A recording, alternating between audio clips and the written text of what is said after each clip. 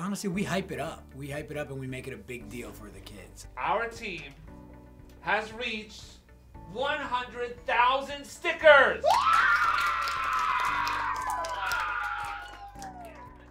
Overall, my experience with First in Math, and I know my students' experiences, they're entertained, they're educated, they're challenged, and they're motivated to go on and do better things. The First in Math has really helped our curriculum because it supports what we're doing in the classroom.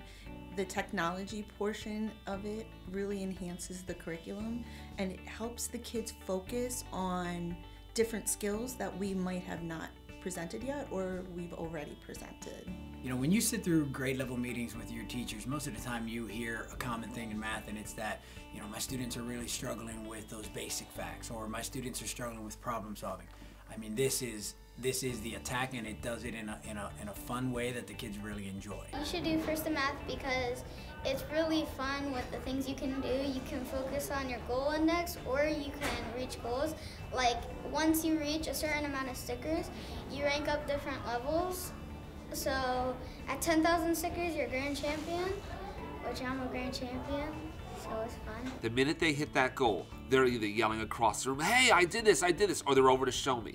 And I said, all right, I got to show it on my computer right away. So they're ready to, to receive it. And on Tuesdays, like we have our little First in Math celebrations, they are happy to see their name on that screen with that award. Joniel finished his multiplication VIS also. Come on down, Joniel. I like First in Math because it teaches you new things and it has a lot of games so you have a lot to pick. You are also our player of the week. Excellent job, Joniel. What I created for my students were quarterly checklists. So the four quarterly checklists break down the goals index. And what we do is at the end of each quarter, they've completed that, they're on their way to making 100% by the end of the year. When you have all of the components on the board every day for the kids to be looking at, they're going in and saying, oh, I want to get to my 100% as soon as I can. Some of the kids that are really struggling learners have been asking this year, some able learners, can you come help me and show me a strategy so I can get 100%? And I've never seen that before. So that's exciting. Every month, we will go on to our school-wide Hall of Fame and we will take our cards. Every student has a card and we will move it based on how many stickers they have. 8,068 stickers. That makes you a champion. Woo! All the way up here. We celebrate their successes, the small and the big.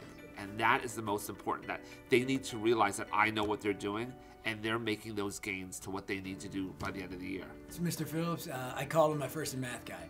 He leads our first in math days, so we meet with the staff uh, twice a year, and we meet with every grade level, and this includes support staff and specialists.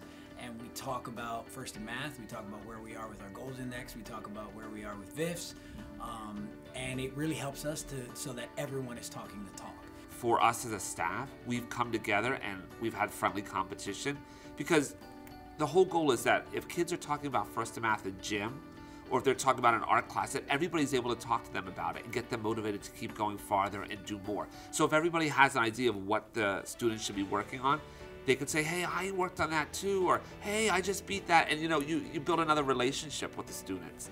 I'm always rooting for the underdog, and First in Math really allows for every kid to have success. I'm really excited, you know, to keep moving forward with First in Math. Over the last two years, we have seen a, a dramatic increase in our math scores, not only in First in Math, but even in our standardized test scores, in our everyday math tests.